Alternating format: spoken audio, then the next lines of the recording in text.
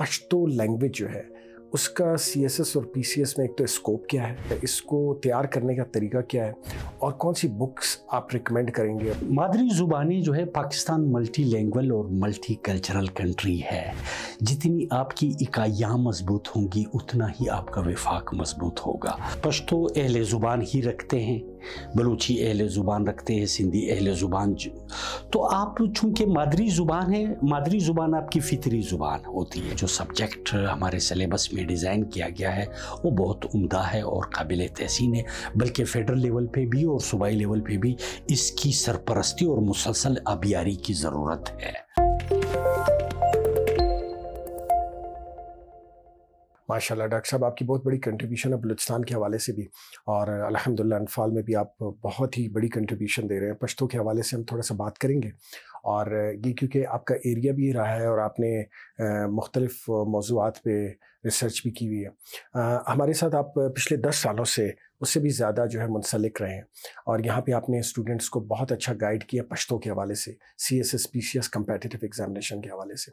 मेरा अगला सवाल आपसे ये होगा कि एक तो ये कि आप आ, हमारे देखने वाले जितने भी नौजवान हैं और जितने नाजरीन हैं उनको थोड़ा सा अगर हम ये बता सकें कि पश्तो लैंग्वेज जो है उसका सी एस एस और पी सी एस में एक तो स्कोप क्या है? और दूसरी बात यह है कि जितनी भी पश्तो लैंग्वेज है इसको तैयार करने का तरीका क्या है? और कौन सी बुक्स आप रिकमेंड करेंगे और आपकी एक्सपर्ट ओपिनियन क्या है पश्तो के हवाले से कि जो देखने वाले हमारे नौजवान हैं कि वो पश्तो अगर ऑप्ट करना चाहते हैं C S S P C S में तो उसका एक तो सिलेबस कंटेंट क्या है और क्या क्या वो चीज़ें हैं जिनकी बुनियाद पर वो अच्छा जो है पेपर अटैम्प्ट कर सकते हैं और इसमें नुमाया करदगी दिखा सकते हैं। मादरी ज़ुबानी जो है पाकिस्तान मल्टी लैंग्वेज और मल्टी कल्चरल कंट्री है। जितनी आपकी इकाइयाँ मज़बूत होंगी, उतना ही आपका विफाक मज़बूत होगा। तो ये मादरी ज़ुबानों का जो सब्जेक्ट हमारे सिलेबस में डिज़ाइन किया गया है, वो बहुत उम्दा है और काबिल तहसीन है। बल्कि फ़ेडरल लेवल पे भी और सूबाई लेवल पे भी इसकी सरपरस्ती और मुसलसल आबियारी की ज़रूरत है। एक। दूसरी बात यह है कि जहाँ तक पश्तो का ताल्लुक है तो आप, पश्तो चूँकि पश्तो अहल ज़ुबान ही रखते हैं बलूची अहल ज़ुबान रखते हैं, सिंधी अहल ज़ुबान तो आप चूँकि मादरी ज़ुबान है, मादरी ज़ुबान आपकी फितरी ज़ुबान होती है।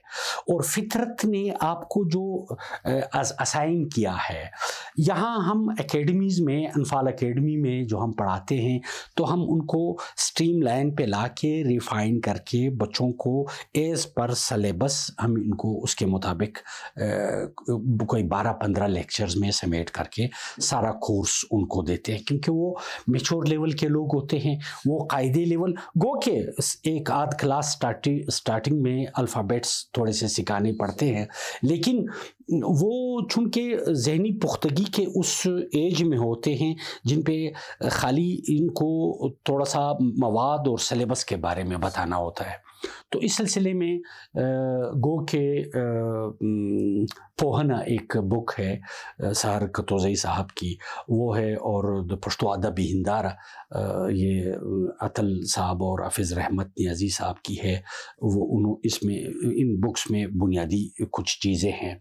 लेकिन मेरी जवानों से ये इल्तजा है कि आप पश्तो थोड़ा सा पी ले वो यूँ कि आप स्टार्ट उनसे, चूँकि आपकी समाथे पश्तों से आशना है, आपकी ज़ुबान पश्तों से आशना है, अभी कलम, जुम्बिश कलम को अपनी मादरी ज़ुबान से आशना करने की ज़रूरत है। वो यूँ आप कर सकते हैं कि आप, मिली हिंदारा, हमारे फोक लिटरेचर के, फोक दास्तानों का एक बुक है। वो पढ़िए। वो बड़े सलासत और रवानी के साथ आपको अपनी कल्चर, ज़ुबान, रंग, नस्ल, मोहब्बत शुजात, मेहमानदारी, आपके जो स्ट्रक्चरल और रिवायती खद खाल है, उसके जुजियात और मशमूलत के हवाले से आपको बताएँगे। तो इसे एक तो आप मिली हिंदारा स्टडी करेंगे तो आप पश्तो अल्फ़ाबेट से आपकी उनसीत बढ़ेगी। दूसरे ये कि आप उसका एक एक पैराग्राफ लिखा करें, आपकी मश्क मश्क नवीसी बढ़ती जाएगी और साथ साथ आप फिर करंट अफेयर के किसी मौजू को पश्तों में लिख सकेंगे। पॉलिटिकल मौजू रिलीजियस मौजू कल्चरल मौजू इकोनॉमिकल फॉरेन अफेयर जिस मौजू पे आपका सवाल आता है, आपके फोक लिटरेचर के हवाले से। फिर जदीद शायरी, जिसमें गनी खान और हमज़ा बाबा वगैरह है, कदीम शायरी में रहमान बाबा और खुशहाल खान को पढ़िए। और बलूचिस्तान के हवाले से पी सी एस वालों और तहसीलदार और सेक्शन ऑफिसर वालों के लिए अब्दुल सलाम अशेज़ इमला अब्दुलसलाम अशेज़ और अलामा अब्दुल अली अखुनज़ादा को पढ़ने की ज़रूरत है।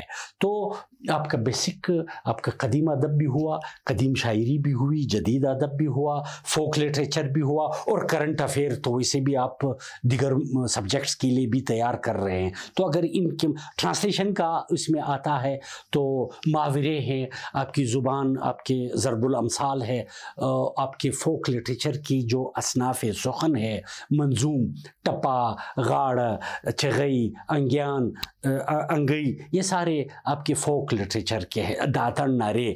और आपके मंसूर फोक लिटरेचर में नकलुना किसे मतलुना ये चीज़ें हैं। तो आपका पेपर तो इन ए वन बल्कि मैं समझता हूँ कि आप अगर थोड़ा सा थोड़ी सी कंसंट्रेशन के साथ मादरी ज़ुबान के पेपर की तैयारी करें तो 90 प्लस आपका आ जाएगा इंशाल्लाह।